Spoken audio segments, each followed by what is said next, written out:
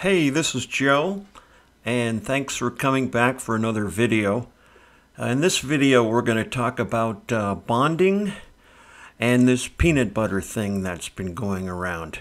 Uh, I see a lot of media posts and a lot of people making comments and uh, like they're rolling their eyes about peanut butter.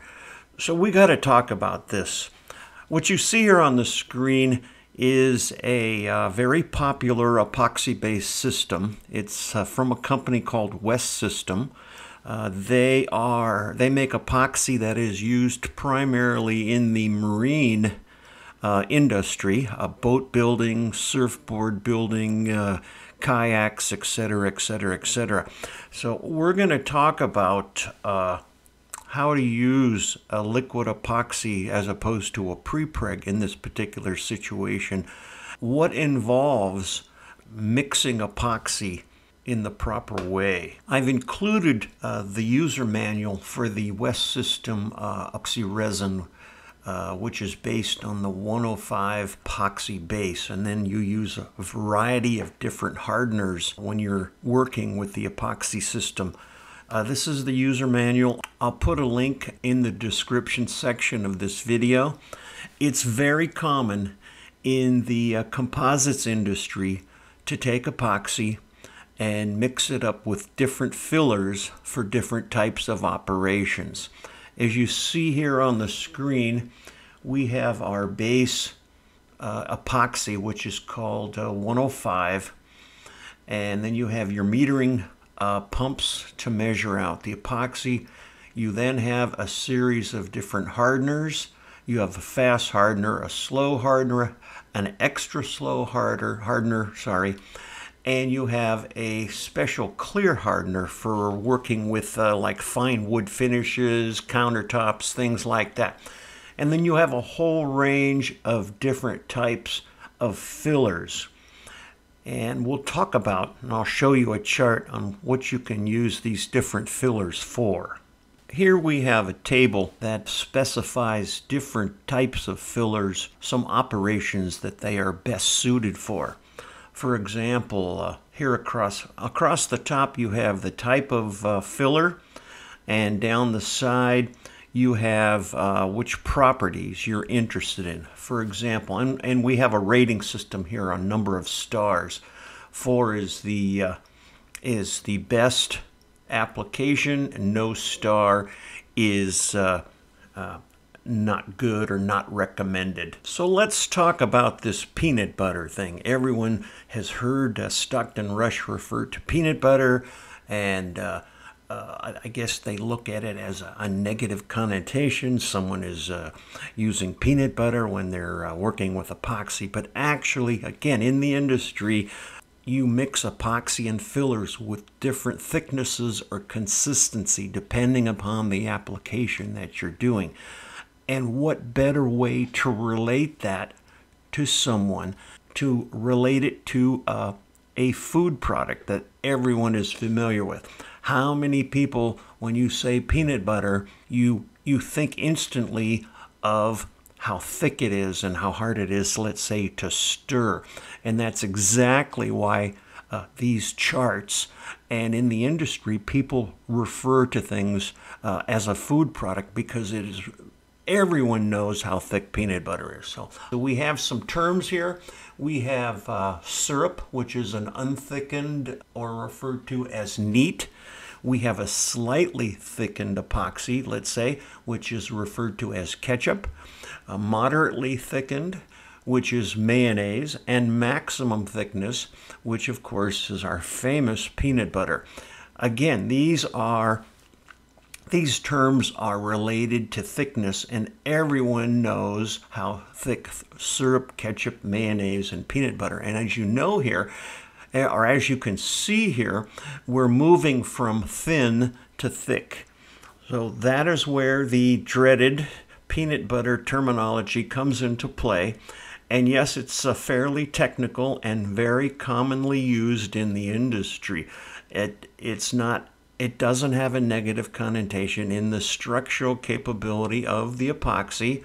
Uh, so again, that's why you hear a lot of people in Stockton Rush uh, included makes reference to an adhesive with a peanut butter consistency. Let's talk a little bit about bonding and end caps now. Uh, I'm at the Blue Robotics site. For those of you that didn't hear the earlier video, Blue Robotics is a California based company that makes ROVs and ROV components. Uh, ROV is remotely operated vehicle, usually in the realm of underwater. So, what we have here is they sell a variety of parts. They sell uh, tubes and they sell end caps and you would put your uh, cameras and electronics components, sensors, etc uh, in these tubes, and then you could uh, uh, create your either create your own ROV or you can purchase an ROV. But uh, we're going to be talking about just the end caps here. I'm looking at uh, an end cap. They they sell them in various sizes. You can get uh, two inch, four up to four inch in the smaller size, and then they have some end caps up to eight inches. That four inches would be 100 millimeters.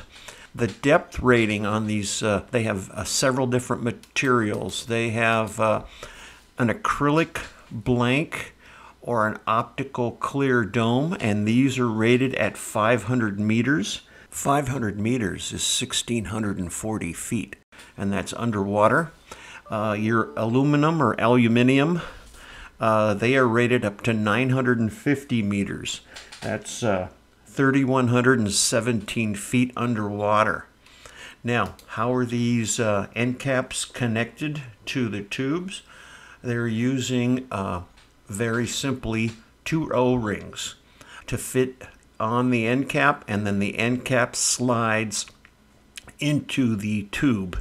Let's go down and take a look at some drawings here.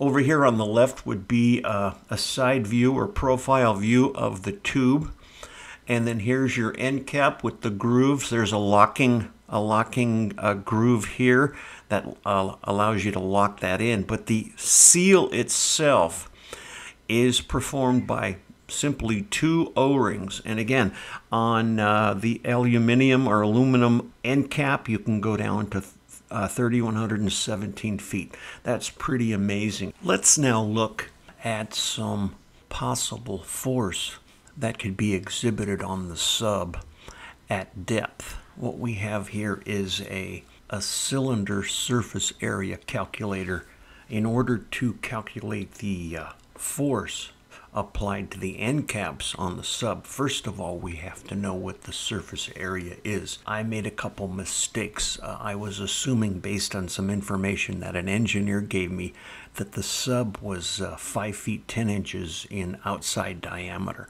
That apparently is incorrect. Apparently, uh, based on a Wikipedia entry, the pressure hull or pressure vessel on the Titan was 66 inches on the outside diameter and 56 inches on the inside diameter. So let's go ahead and do some calculations based on that Wikipedia entry. First of all, this calculator is asking for a radius. So radius is 33 inches, and we are working in inches. We aren't working in SI units. And then, of course, the height of the end cap that we're working And If you go back and look at the image of as they're bonding the uh, flange to the carbon fiber, you'll notice that they've put some epoxy around the outside of the carbon fiber up near the top. So I'm guesstimating that that's going to be about three inches. I've had some people calculate just the face surface area, but we're going to also include that three inches around the outside perimeter of uh, the carbon fiber.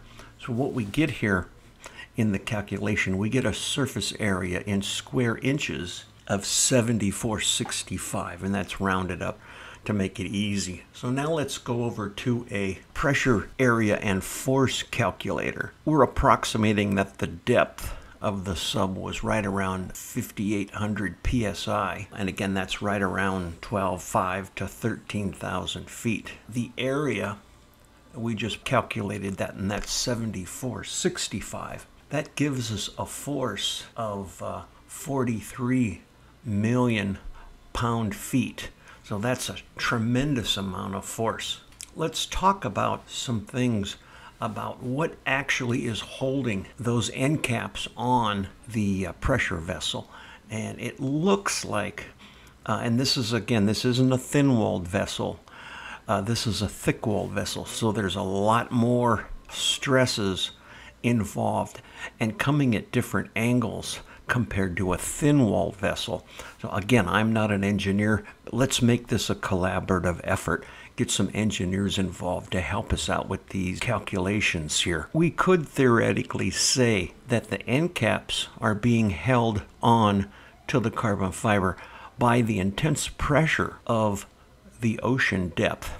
And we might even want to theorize that the epoxy bonding is this just there as a gasket or to hold the end caps on at surface level pressure. Uh, again, we might want to get some engineers to to make some comments on that. But in looking at the information that I showed you with the uh, uh, Blue Robotics, uh, those end caps are are in place with O-rings, and the pressure surrounding those end caps are holding uh, those end caps on at depth. Now let's talk about some uh, theories that some other people have made. If you look at the recovery images, you'll notice when they lifted the hemispheres out of the water or off the ship and put them on the dock, you notice that the uh, acrylic viewing window and the flange that holds that window in place uh, were missing. You can also notice that on the hemisphere, the titanium hemisphere, there were no bolts around the outside of that uh, hemisphere that it, that were bolted to the uh, titanium flange. Now, a couple things could occur.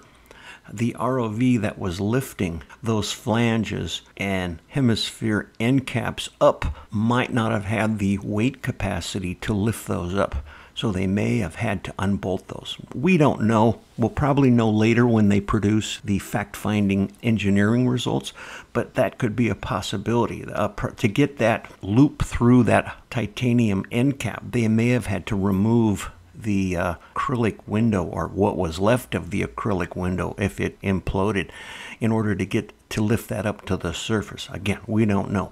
Some other people have made the uh, comment that when the carbon fiber failed, instead of blowing those flanges and hemispheres out, that instead, because of the surrounding pressure at depth, those hemispheres then would have collapsed inward. And I'm not saying that's not possible. We don't know, or at least I don't know. Maybe we can get some, again, some engineers to comment on that.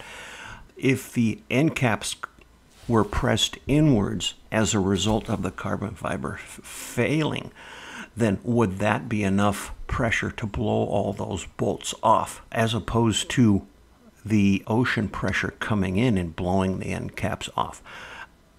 Again, I can't answer that. I don't know. We don't know uh, all of the facts. Again, they could have unbolted everything to lift it up to the surface because those ROVs are limited in the amount of weight that they can carry. So we'll have to wait for the uh, the results from the Canadian NTSB. I also want to discuss some errors that I made in the previous video. In the recovery images, I was accidentally pointing to the upper surface here. This is the surface. If you look very closely, you can see the bolt holes that the hemispherical end caps bolted into. Uh, in actual fact, the bonding area is at the bottom. So that is a mistake that I made. I was looking at this uh, flange differently. So I wanted to correct my error in that. If you look here, you can actually see the epoxy adhesive on the inside.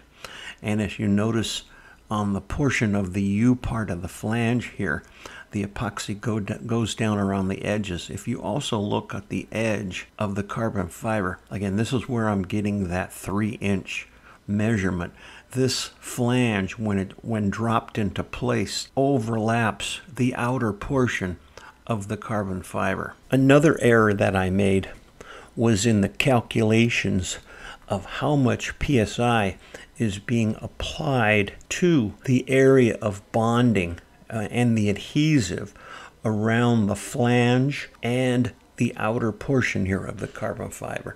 I said that it was uh, like right around 9,000 psi, and and based on some discussions I've had with some engineers, I was in incorrect in that assumption. There's some uh, complex calculations based on the surface area of the flange and the amount of pressure that is pushing down on the, the hemispherical end caps onto this flange and the bonding air area here being much smaller in surface area than the than the actual covers or end caps or the hemispherical end caps the pressures here in PSI are much higher. Now, I am working with some engineers to try to come up with some calculations for this.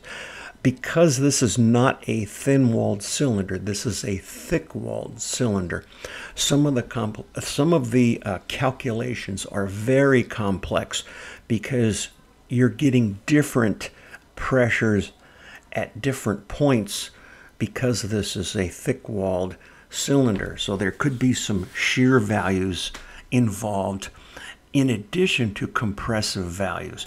So again, I don't have the capability of calculating that myself. I'm working on learning some of these things, but we're going to have to depend on some engineers to assist us with that.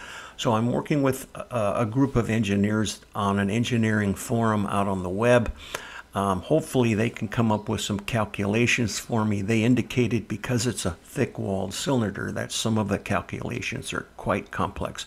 If any engineers out there want to assist, let me know. I'll give you all the specifications on the measurements and uh, then uh, when you calculate that, we can publish all this information so that everyone can see what those values are. So at this point, uh, I'd like to thank everyone for all their great comments, for watching the video. Stay tuned. Uh, next video we're going to talk about is it possible to build a carbon fiber pressure vessel to be successful and to last repeated dives at depth. And I found a company out there that is actually doing that. So we'll see you next time.